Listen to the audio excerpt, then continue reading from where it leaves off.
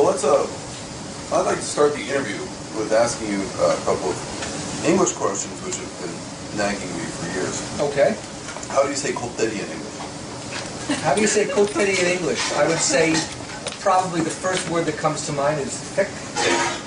Yes, but Um, thick, thick sort of ends up being like total. It's like total, total, total, total. Um, you know, as we were just talking a few minutes ago about like uh, kaori or uh, or fumi, Mm-hmm. and then when I'm explaining something to well, someone in English about something that smells good, I almost invariably switch into Japanese. Because fu- fumi and kaori sound a lot fumi and better. kaori sound Smell or rather than saying smell or Aroma. aroma, which just doesn't seem to give the right nuance. right.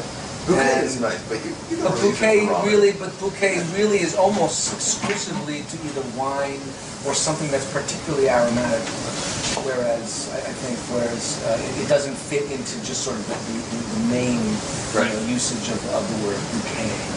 Um, and I think bouquet also sort of you think of something sort of almost blossoming Uh-huh. um, in, in, in, in, a, in a smell rather than Sure. you know, whereas fumi is more like I, you can almost see the, the, the flavor coming out your nose, you know, and, and, and uh, I mean, to me, Japanese is funny. As I get better at it, I, you know, it, it, it's so many little words that help to explain a specific feeling. And fumi is the taste of the wind.